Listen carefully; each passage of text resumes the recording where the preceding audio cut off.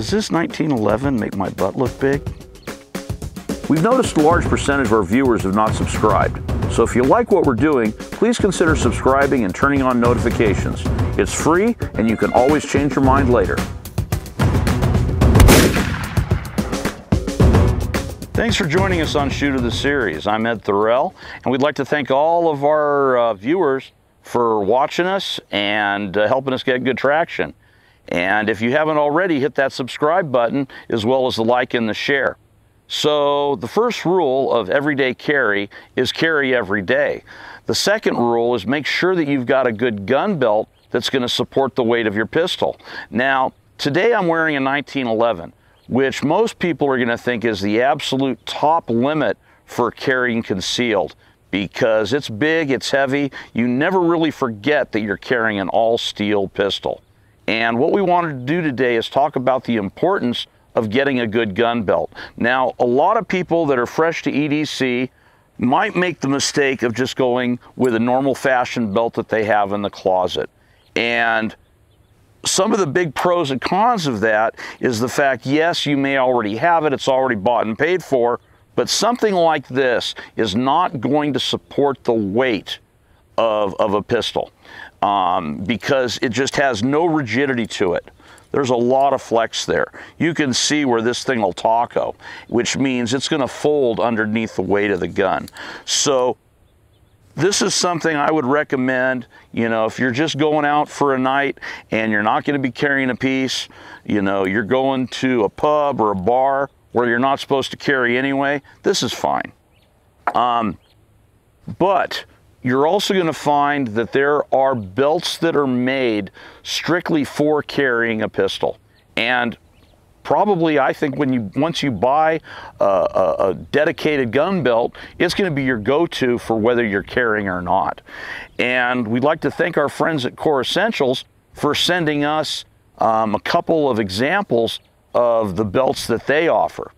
And what we're going to be doing is we're going to be running a couple of tests to see how the weight of the gun on the belt under load actually supports the weight of the pistol. One of the things I want to emphasize for this part of this demonstration is to show you how tight we can coil these belts and still be in their most relaxed state. One of the things you can easily see is the fashion belt with very little support is going to have the tightest coil when it's relaxed. The competitor's belt, you can get a coil of almost two complete wraps, and that's as relaxed as it's gonna be. The Kore Essentials belt, that's relaxed. So this gives you an idea of the rigidity of the belt under absolutely no load at all in its most relaxed state as tight as you can make the coil. Now, another way of looking at this is the way it's packaged. Now, when when I when I got the competitor's belt, it was sold in a, a, tight coil package about six by six. Well, when we got the Kore Essentials, its box was an eight by eight, and it filled up the box. That was about as tight as you could get it inside the box. Now, before we go any further in the testing, um, I want to show that the 1911 is safe and clear. Drop in the mag, rack the slide, we're safe and clear. No big surprises. Now, what we want to do is put the 1911 in the holster onto the belts to see how rigid they will remain under load. And a 1911 for most people is as big as they would ever consider carrying. And for a lot of people, it's just considered too big for everyday carry. So the test that I want to perform is holding the gun with my hands about six inches away from the, uh, the gun itself. And I'm holding it pretty vertical. So we've got the weight of the gun cantilevered out and it's only supported by the actual belt itself. And all I'm doing is holding the belt at this point. And you can see this is good rigidity, the way it balances and holds the gun. The gun's not really going anywhere. All right, so Kore Essentials, belt number one for the test. Now, this would be one of the competitors' belts also on the market, And we're not naming names. We just want to do a demonstration to show the different types of materials that are available. Okay, I'm going to see if I can hold my hands out, see how far I can get my hands out before it starts to fold. And I'm only about three inches out. And you can see already the difference in the rigidity. If I hold it out six inches, it's just going to flop over.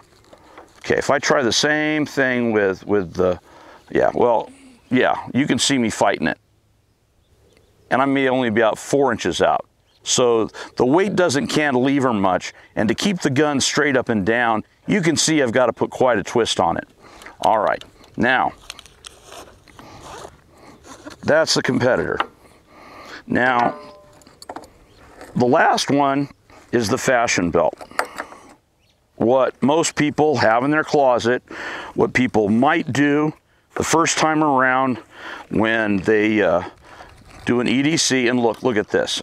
I mean, I, I, I can't. If I were to try to do it like this, hold it six inches out, look what happens. It's done.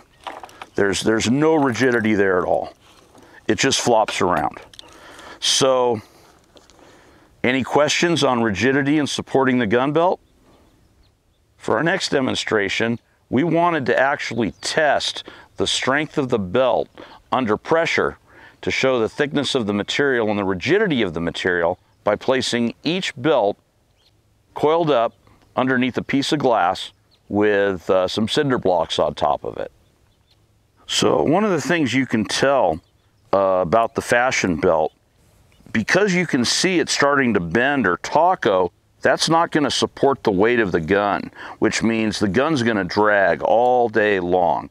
You're not going to have the rigidity of getting a solid draw where the weight is supported if you actually need to use it. Now, the competitor's belt, it, it, seems strong enough. It's, it's holding up well enough, but, but there's a certain softness to it. Um, and over time, you might see some sort of compression to where it's not supporting the gun as well as it could. And, you know, over time, that's, that's a real consideration. Now, you can also see from the Kore Essentials belt that it's standing strong. It's it's rock solid. There's very little flex in this. And I think this this gives me a lot more confidence when I'm wearing it that it's going to support the weight of the pistol and and do it for a long long time and be very very consistent about it.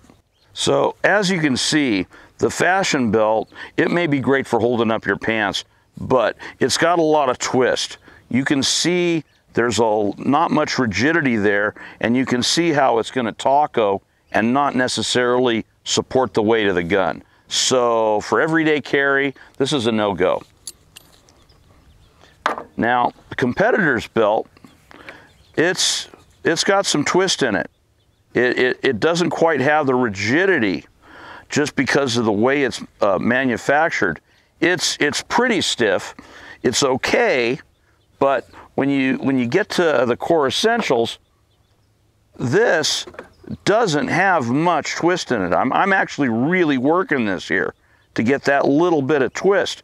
And this is really going to support the weight of the pistol really nicely, um, even from the way it's constructed. They've really put a lot of time and effort into designing this so that it is going to stand up to support the weight of your pistol. So I want to take a minute to talk about some of the features that, that come with the Kore Essential belt and, and start off by talking about the material itself. And, and from this particular view, you can easily see uh, that there is a solid core that runs through the entire length of the belt. And, and from here, you can also see how it's stitched, not just around the core, but through the core. And you can also see it from this side of the scrap, from the Kore belt that I'm wearing, that um, they're not they're not scrimping on the thread. The uh, the the the actual core of the belt is is physically attached and mechanically attached by being sewn into the belt itself.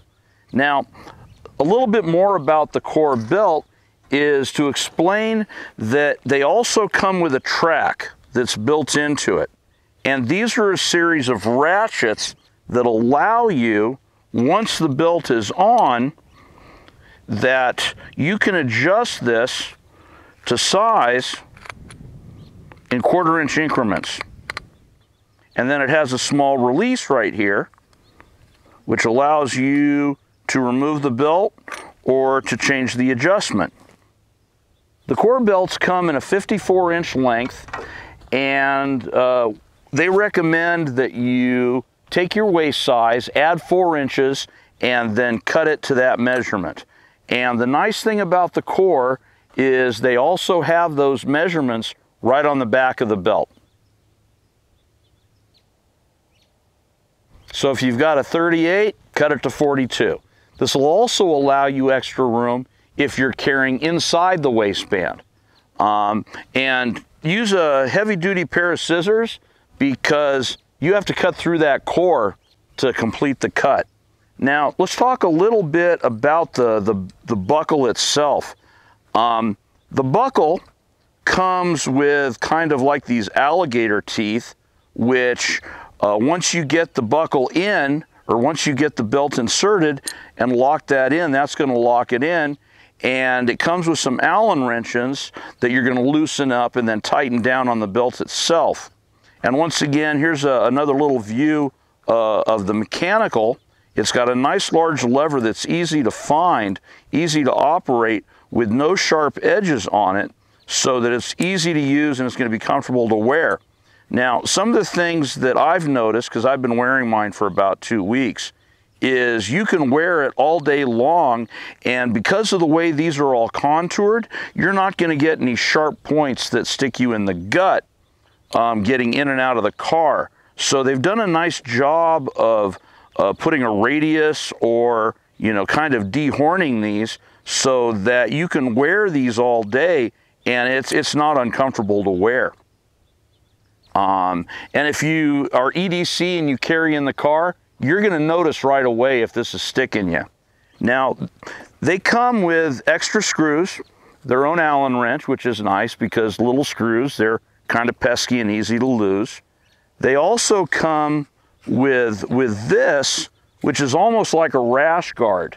And if you had um, a, a, holster that had, you know, some size, type of metal clips that went on it, you could put the metal clips over this to actually protect the belt from, you know, uh, on and off with different types of metals. It, it also comes with, and once this goes on, it's pretty secure. They also give you a, a little keeper uh, for, for tucking this in. You know, if you want to run the other belt through it, and it's got a, Velcro adjustment on the back, so you can adjust this. So if you want to go through two layers of belt and tuck it in, that'll work. Um, one of the things they also included with the package, and I think is pretty cool, is they actually have their own belt hanger. So you can hang these things up in the closet just like this, and it holds your belt nice and secure, straight up and down. You're not gonna lose it in the closet.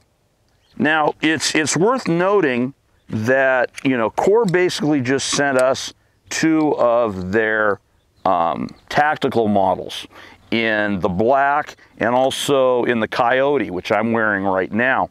But they also come uh, with models that are with leather.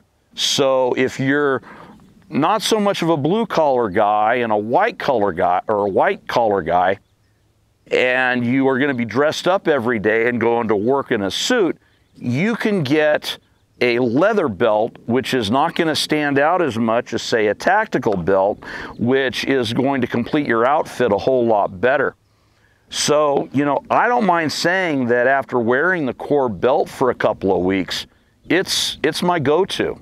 Um, and and I'm I'm a happy camper because I know that we'll see how long this lasts, but if it does wear out, I'll be replacing a Kore belt with a new Kore Essentials belt.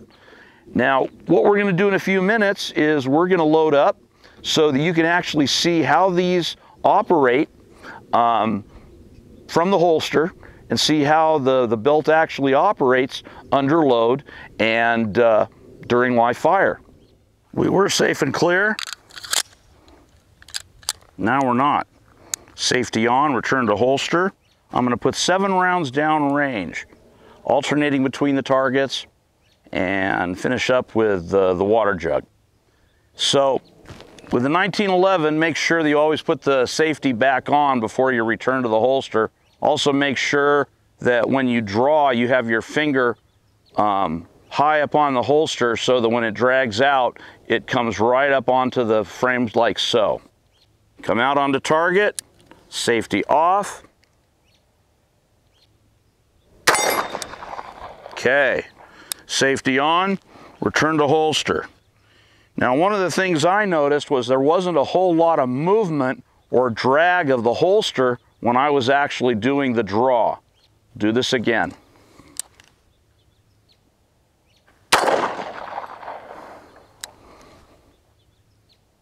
Safety on, return to holster. Okay, I'm not seeing a whole lot of feeling much drag from the holster. It, it, it seems to come out pretty, uh, pretty slick. Uh, I'm not feeling a whole lot of movement in the belt. Once again, safety off, good grip, soft and easy on the trigger. Good hit. Safety on, return to holster. Always look down at your holster to make sure that the muzzle's going in safely. Um, most accidents happen at the holster. So taking it out is one thing, but when you put it back, you definitely want to be looking at where you're putting the pistol. So once again, we're going to draw, safety off, good solid hit. Safety on, back to holster.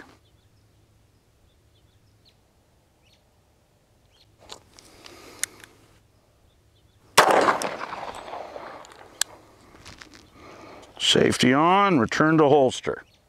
One more time on the second red.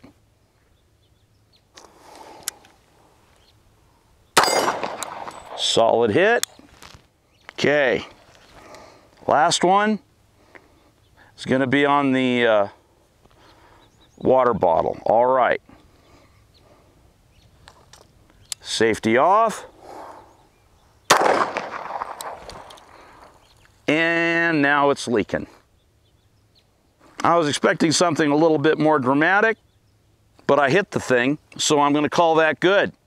Anyway, we'd sure like to thank our good friends at Kore Essentials for sending out a couple examples of the belt. We also want to thank all of our subscribers who keep tuning in. So, on behalf of SH007ER The Series, I'm Edwin Thorell. Y'all take care.